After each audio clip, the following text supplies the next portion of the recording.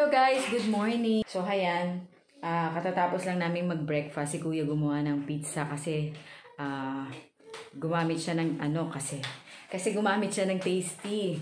Kaya siya na yung nagawa ng pizza. Although kulang sa cheese kasi naubusan na kami ng ah, cheddar cheese. So, kukunti yung cheese na nagamit niya. So, hindi na rin ko na, na, na-vlog yun kasi ah, si Lucas katabi ko pa nandun sa bed. Natutulog pa siya.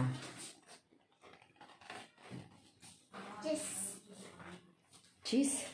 use. So ngayon maglilinis lang tayo dun sa labas kasi meron pa akong mga hugasin. Tapos mag-prepare tayo ng lunch kasi magna 9 o'clock na. Si kuya papasok ng 11. So nagla-lunch siya ng 10 p- ah, te- te- So nagla-lunch siya ng 10 a.m. So mag-prepare tayo, magluluto tayo ng adobo, the usual adobo. Kasi meron kaming chicken. So lutuin na lang natin na um, adobo. Pero maghanap ako ng recipe sa internet kasi meron kaming holy basil. So, kailangan na rin namin siyang gamitin. Kasi pag ang basil, di ba, pag hindi mo siya kinukuha na ng dahon, mamamatay siya kasi naglalagas. So, kailangan natin siya kuha na ng dahon. Kasi, ang laki na niya. So, maghanap ako sa internet ng recipe ng ah, chicken na merong holy basil.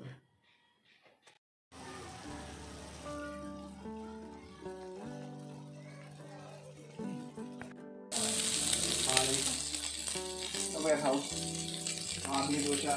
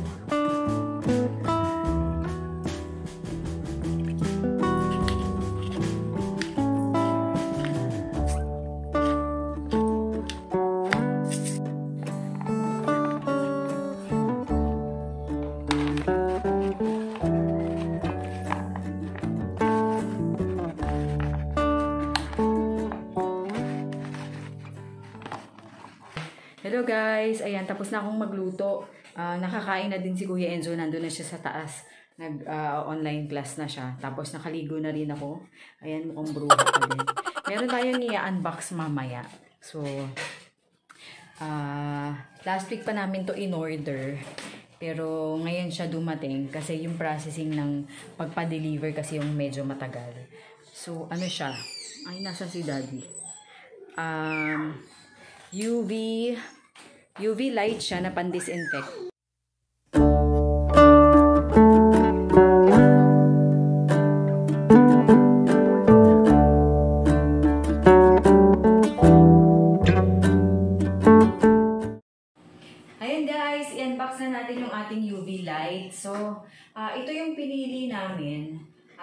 Nakapanood kasi namin siya sa isang vlogger dito rin sa YouTube.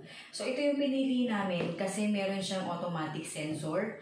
Um, pag na-detect niya na merong movement sa loob ng kwarto kung saan siya ginagamit or saan siya nakabukas, o saan siya nag sterilize ah, automatic siyang namamatay. Which is very safe kasi meron kaming mga kids dito sa bahay. So, ito na yung pinili namin ni Daddy. Kasi maraming naki- marami tayong nakikita, 'di ba, na sa mga online, ah, sa iba't ibang ah, shops na mga UV light. Pero um, yun nga yung isang iniisip namin kasi na baka hindi safe sa mga kids. So, ito, yung napanood namin na ah, na vlog na sinabi niya na may automatic sensor siya na pag may naramdaman siya or yung gumagalaw dun sa loob mismo ng kwarto, ah, automatic siyang mamamatay. Ah, so, i-unbox na natin guys itong uh, Purify. Ah, nabili namin siya sa American Home Appliances sa Facebook. Ah, doon ako nag-message kasi nabanggit dun sa vlog na sila nga yung nag um, ang tawag dito, nagbebenta nito. So, doon kami nag-order, nagtanong ako, tapos sabi nga nila, may in-offer pa sila sa akin na ano eh, yung parang bundle. Ito at saka yung air purifier. Eh, meron na tayong air purifier. So, ito na lang yung kinuha natin. Um, this is uh, 2,999. Tapos yung shipping, ah shipping. Yung shipping na uh, Lala Move, kami na yung nagbayad noon. Tapos i um, ipa-process nila yung order mo 3 working days. Tapos i-ano ano naman sa iyo um ang tawag dito, i-advise ka naman nila kapag ah, na-process na, may resibo ka na, tapos meron ah, meron ng rider na kukuha, i-advise ka nila kapag na-pick up na. Tapos meron siyang 1 year warranty. So ito siya, ah, UV 360 kasi paikot yung naiilawan niya. Halimbawa, dito sa kwarto na to, paikot, yung buong naiilawan niya, na-sterilize niya yun. So, meron siyang disinfect and kill mites easily. Um, ito yung mga function niya. Prevent bacterial reproduction at yung 360 sterilization. So, ito guys, yung features niya ha.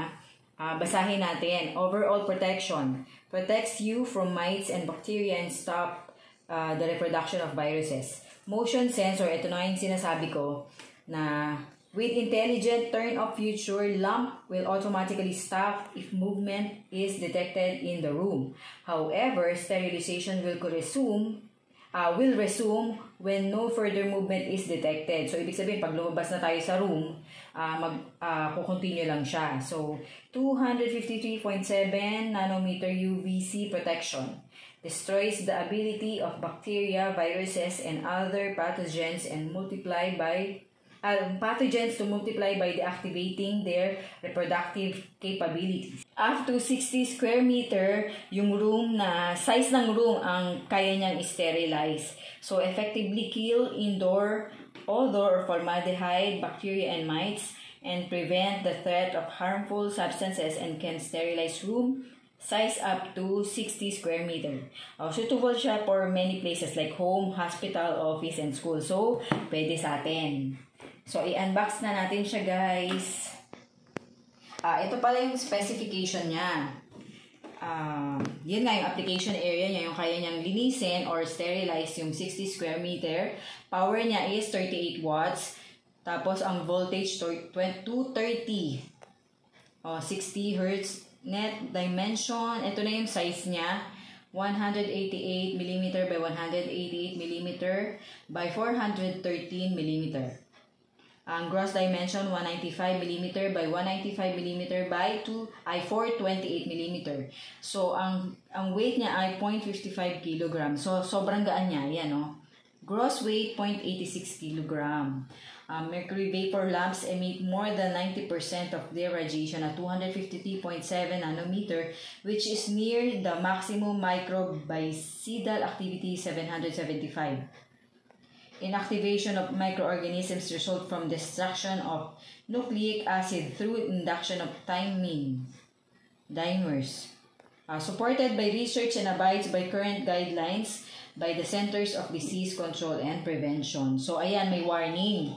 Do not stay in the same room while the UV lamp is on and operating. So, meaning kasi 'di ba, uh, yung UV light ay hindi safe sa skin, sa eyes kasi pwedeng ma-damage ang ating skin and ang ating eyes. So, i-unbox na natin siya, guys. Binasa ko lang yung mga nasa labas ng ano ha, ng box. Ayan ang loob ng box.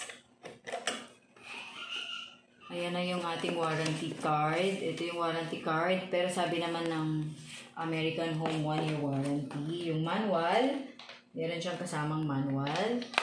Ayan na, ilabas na natin.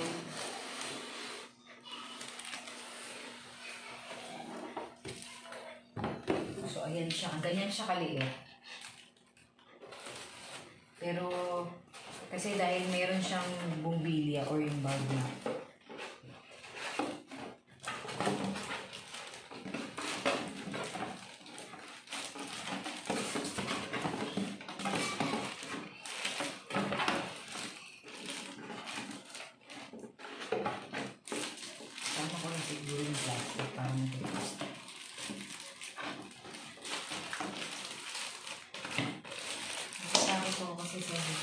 Itsura niya.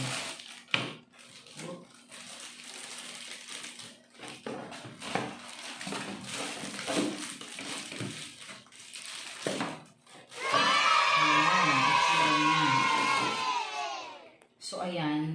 Ang pinaka, um, ang tawag dito, pinaka frame niya lang, ito lang sa gilid. So, dito, medyo vulnerable siya kasi pwedeng mabasag itong bumbilya. So, ito yung iilaw dyan. Tapos, meron pala itong timer ha. Um, pwede mo siyang gamitin um, ng 15 minutes, 30 minutes, and 60 minutes. Depende sa laki ng i-sterilize mo.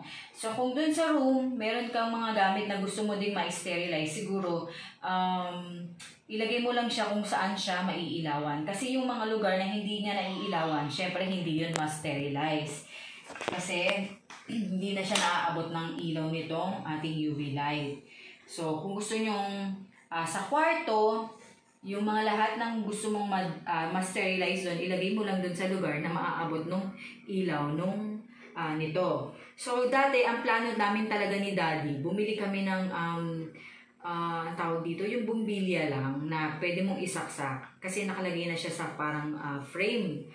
Tapos, ah, nakita kasi namin yon sa IG ni Miss Lynching. Ang ginawa niya kasi, ang ini-sterilize naman niya, yung mga things na ah, siguro galing sa labas, ang ginawa niya, nilagay niya sa storage box. Tapos nilagyan niya lang nung aluminum na anong tawag doon dati. Ano? Yung nilalagay sa mga bubong. Anong tawag doon? Alam. Alam mo yun? Ano yun? Yung ano, yung parang foil. Insulator. Yun. Ang ginawa niya, nilagay niya dun sa loob ng box yung insulator tapos nasa takip yung bumbilya. So yun ang una namin naisip ni Daddy before na gawin namin, gayahin namin kasi madali lang. Kasi yung bumbilya nabibili sa, meron sa Shopee. Tapos nilagay niya rin yung details ng bumbilya or yung ilaw nga. Kaso, ang problema, sabi ko kay Dad, hindi, ang kagandahan nito kasi, kesa dun sa sinasabi kong ilalagay mo lang sa isang box, eto, pwede mo siyang ilipat sa iba't ibang lugar sa bahay. Ah, ang importante lang, walang tao dun sa lugar na paglalagyan mo nito, na i-sterilize mo. Ah, pwede ito sa sasakyan, magagamit to sa sasakyan. So ngayon, yun siguro yung gagawin ni Daddy. Unang gamit niya, ah, sterilize niya yung sasakyan since ginamit niya yun for the last two days sa office. Although na Lysol naman niya yun. So doon natin siya unang gagamitin. Ang kagandahan kasi nito, pwede mo siyang dalhin or ilipat ng lugar kung saan mo siya gagamitin. So, um, parang portable din, di ba? So, ayan guys, ito na yung ating UV light. So, ito guys yung pinaka-base niya. So, ayan yung power button. Tapos, ito yung red light. ah, signal siya for 15 minutes, yung timer. Green light for 30 minutes. And then, white light for 60 minutes. Tapos, um, press and hold the key for 6 seconds until the lamp makes a sound. So, ito yung bypass motion sensor. So, meron dito nakasulat na tips. When the motion sensor is turned on, please ensure the, that there are no moving objects within 5 meters of the UV lamp. As a safety precaution, any movement will stop uh, UV sterilization. So, ayan guys. So, ito pa yung uh, isa pa nating dapat ingatan kasi dito eh. So, ito, ah siguro dapat natin ingatan na matamaan siya ng mga hard objects kasi ah, sobrang sensitive to kasi glass to, 'di ba? So ako ang iniisip ko after every use ibabalik ko na lang siya dito sa box niya.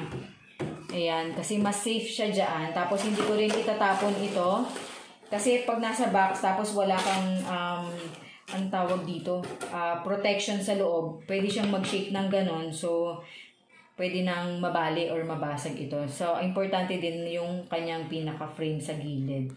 So, kaya 360 kasi dito yung liwanag niya. Tapos dito sa mga gilid, meron din namang butas na pwedeng labasan ng ilaw. So, ayan guys. So guys, kaya kami nag-decide na ito yung bilhin namin instead na gumawa kami ng box. Kasi nga, portable siya. Pwede mo siyang ilipat, ah, ilipat ng room. Pwede mo siyang dalhin sa itaas. Pwede mo siyang, um, yung buong room, madi-disinfect niya or ma-sterilize niya. So, pwede rin sa sasakyan.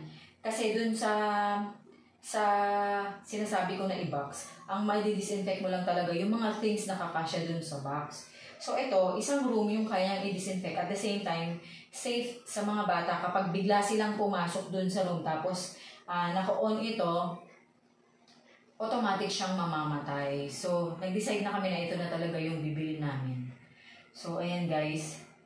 Ah, kung kung meron sa inyong may gusto na mag-order nito or magtanong sa American Home Appliances, visit nyo lang yung um, Facebook page nila. Ah, pwede kayong magtanong sa kanila or mag-inquire. Madali naman silang mag-reply or kung halimbawang gabi kayo nag-message, kagaya ko, ano yata ako nag-message after office hours, pero may nag-reply pa din sa akin. Ah, medyo late na nga lang sila nag-reply. Pero okay pa din kasi gabi na nga yun eh. So, hindi ko na ina-expect na magre-reply sila. So, kung gusto nyo siyang um, i-inquire sa American Home, pwede nyo silang i-message sa Facebook. ah Facebook page nila. So, ayan guys, dito ko natatapusin yung ating vlog for today. Um, kung nag-enjoy po kayo sa panonood sa aming vlog, I hope nag-enjoy kayo sa panonood sa aming vlog for today. Ah, kung nag-enjoy po kayo, please click like, share, and huwag niyo po kalimutan mag-subscribe guys kung hindi pa kayo nakasubscribe. Thank you guys for watching. Stay safe everyone. Bye!